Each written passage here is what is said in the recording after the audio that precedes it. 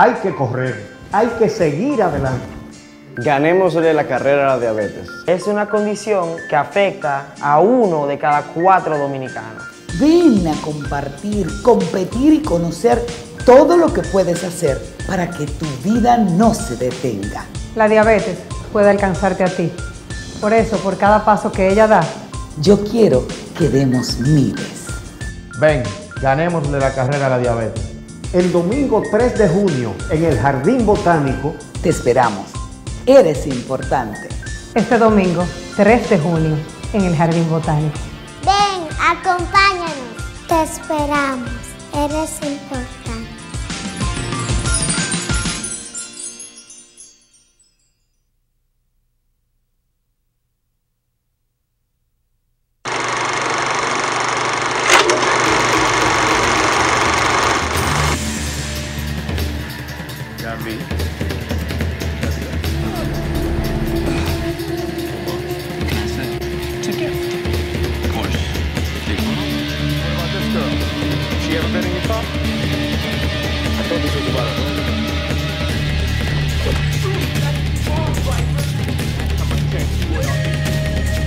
Estamos de regreso con Yatna. Sí, señor, aquí estamos y felicísimos. Seguimos celebrando en grande el Día de las Madres en la República Dominicana. Quiero reiterarles a ustedes la invitación para que el próximo día 3 de junio todos nos demos cita en el Jardín Botánico. Ganémosle la carrera a la diabetes. Sí, señor, se podrá caminar o correr o 5 kilómetros o 10 kilómetros y todo esto a beneficio de la Fundación Aprendiendo a Vivir. Son muchos, señores, son cientos los niños y los adultos que se benefician gracias al trabajo de esta fundación y lo que queremos es que sobre todo sirva esta iniciativa para la prevención y para estar conscientes de que la diabetes es más que todo una condición. Pero si prevenimos muchísimo mejor. Nos vemos el domingo que viene en el Jardín Botánico. No me fallen, ¿eh? vamos a ganar la carrera de la diabetes. Y ahora me siento feliz de dar la bienvenida a un joven dominicano, un joven dominicano que se planteó ir a la conquista de Hollywood. Y yo creo que eso es un sueño muy común de todo aquel que, que hace cine. Nos sentimos sumamente orgullosos como dominicanos de saber que contamos con la compañía esta noche en nuestro estudio de un joven que lo ha logrado. Se fue cuando tenía ocho años, ya tiene cuatro años viviendo en Los Ángeles y ha participado en gran parte de mis series favoritas, como por ejemplo CSI, Law and Order, Super Ninja, e inclusive ha tenido una participación en la nueva película de Batman. Pero tú se has rendido, muchachito. Señoras y señores, la bienvenida a Ramsés Jiménez, hey, aquí a la inversa, from Quisqueya to Hollywood. Qué alegría tenerte aquí, Ramsés. No, no, no, el placer es todo mío estar aquí delante de ti. O sea, he oído tanto de Yarna que, o sea, para mí la emoción de estar sentado aquí, un, un, programa que tiene, ¿cuánto ya? 10 años casi, usted tiene... 12 años. No, pero tú eres una teenager cuando tú empezaste este programa, entonces. Ay, ay Ramsés, tú tienes que venir todos los domingos. No, no, ¿Qué tú crees, sí. morenito? pero desde temprano, eso me encanta. Oye bien, hoy día estamos cumpliendo 12 años ininterrumpidos en el aire en Yarna, ¿eh? Oh. Que no me acordaba yo. Oye, sí, hoy Día de las Madres. Hoy día cumplimos 12 años de forma ininterrumpida en el aire. Mira, fíjate tú qué bueno que me lo mencionaste y yo lo voy a dej- dejar pasar así. Importante. No se puede. ¿Cómo se logra tanto en tan poco tiempo, aunque fuera tu sueño de toda la vida? Eh, bueno, yo diría que eh, trabajar duro es lo más importante, pero más que nada este, siempre tener la bendición de Dios ante todo lo que uno hace. Eh, no, entonces yo llegué a Hollywood y para mí lo más importante fue eh, establecerme como un- una persona seria que fue a trabajar porque es un sitio muy fácil de perderse. Busqué una gente. Porque hay muchas tentaciones, estás condicionado para llegar a hacer cosas indebidas. Cuéntame. Bueno, mira, ah, yo siempre digo que Hollywood es el sitio donde tú vas a, a realizar tus sueños o verlos eh, eh, estrellarte en su, estrellarse en su cara. De- de- y de mala forma también, porque uno siempre llega con un, con un pensamiento de que uno es un, cierto tipo de persona y que se merece cierto tipo de cosas. Y uno se da cuenta de que el llegar allá eh, realmente se, eh, el éxito se realiza por tener eh, disciplina y tener mucho trabajo y, y y ser muy trabajador. Y por decir que no, aunque tengan necesidad, Absolutamente. si te han hecho propuestas así como indecorosas para darte un papel o para darte una oportunidad. Yo creo que más importante, eh, no me han dado nada que yo te diría que, me resalta mucho, pero yo creo que yo como persona y como individuo, cuando voy a hacer un papel, para mí es muy importante eh, saber qué tipo de, actor me estoy, en qué tipo de actor me estoy con- convirtiendo y cómo estoy representando a mi familia, a mí mismo, a Dios y a mi país también. Entonces, de eso yo casi baso todo, para yo siempre asegurarme de que estoy yendo en el camino correcto y que siempre estoy subiendo y en ningún, ningún momento me desvío. ¿Cómo se dio el salto ese día en que tú dijiste, yes, Ramsés, tu primer papel? Sea, esa serie tan pegadísima.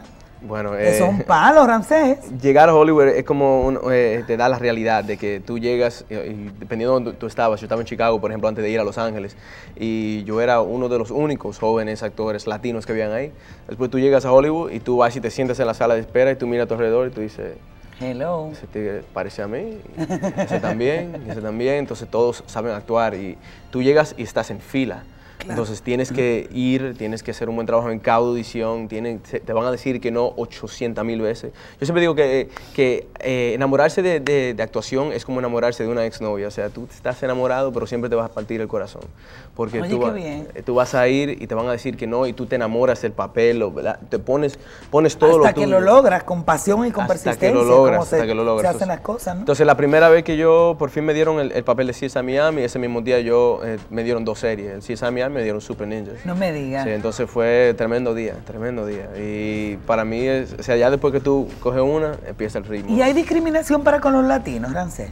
Yo no te diría que hay discriminación, lo que pasa es que eh, hay que entender que el- el, eh, la televisión americana es una televisión que se domina por 60% de la gente blanca, se domina por 16% de la gente eh, que son, son morenas, black American, como dicen allá, y también por 20% latino y después se disminuye los otros porcentajes. Entonces, hay estereotípicos que le llegan al latino, pero como, como todo, o sea, es, es arte y, es una, y, es una, y viene la base de, de- para la audiencia que la está mirando. Pero yo siento que los latinos estamos bateando, ¿eh? Oh, bateando muchísimo. Que los latinos estamos, estamos Claro como de que sí, moda, ¿eh? claro que como sí. gustositos en este momento. Sí, porque es, es, es eh, la minority eh, más grande La que minoría, está, la minoría más grande que está creciendo y la más rápida que está creciendo en Estados Unidos. Así Saquen los latinos de golpe de Estados Unidos para que tú veas qué pasa. Laboralmente hablando, o sea, nada más comencemos a hablar por ahí. Mira, ¿y qué te parece a ti lo que está sucediendo? Este boom con el cine en República Dominicana. Me encanta. ¿Y qué interés tienes de venir e incursionar y participar en las películas, en las producciones que se están haciendo? Bueno, primero hay que felicitar aquí a todos los productores y los directores que han hecho películas y que siguen empujando este cine para adelante. Eh, a mí me encantaría venir aquí a trabajar y a colaborar con, los, eh, con todos los artistas que hay aquí. Y de hecho he escrito dos, tengo dos guiones ya hechos para ¿Eres el país. también? Bueno, es que es- yo- uno tiene una idea en la cual uno siente su pasión y si no puede encontrar una persona para hacerlo, tiene que hacerlo uno mismo. Claro. Entonces, así soy yo.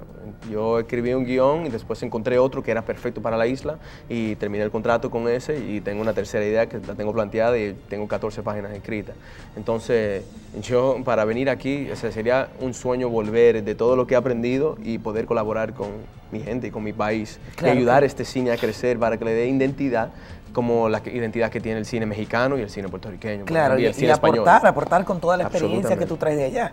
¿Qué, qué consejo le das a los latinos o a cualquier joven dominicano que te está viendo en este momento, que tiene los mismos sueños tuyos, pero que dice Hollywood? O sea, como que es impensable poder llegar allí.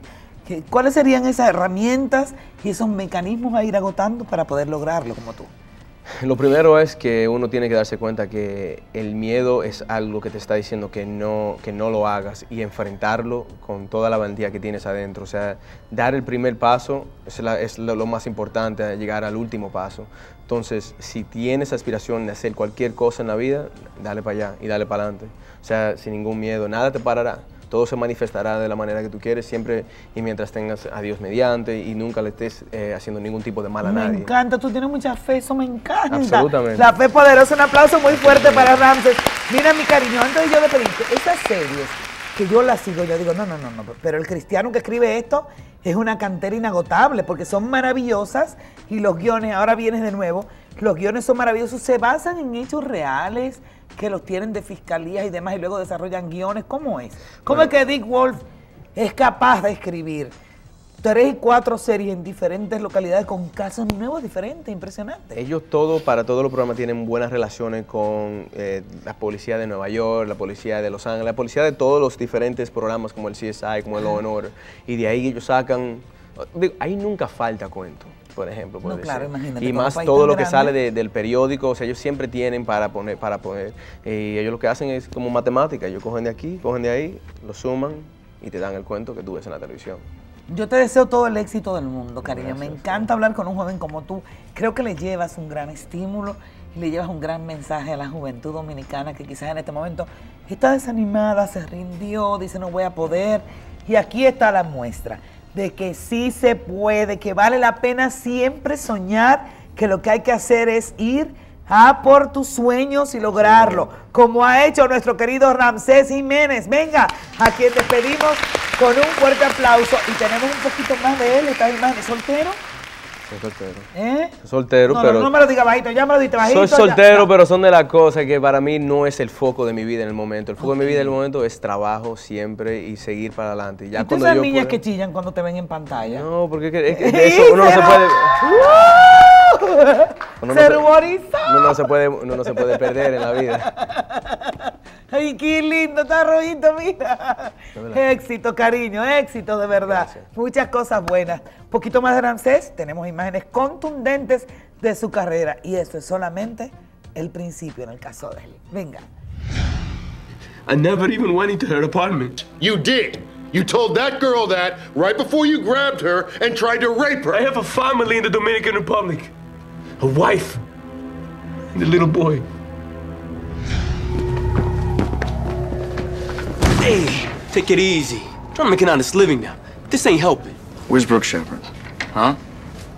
I got no idea what you're talking about. Look, we saw the videotape. We know you're working with Kroll. If she's dead, you're gonna end up with a needle in your arm just like he will. You two guys got quite a show here. You should really take this on the road. this. All that stuff about you looking up to me, it was all a lie. I've been waiting to do this since you first got here. And I've been waiting for you to chew on a breath mint since I got here. Now, if you don't mind, I'm trying to talk to my friend.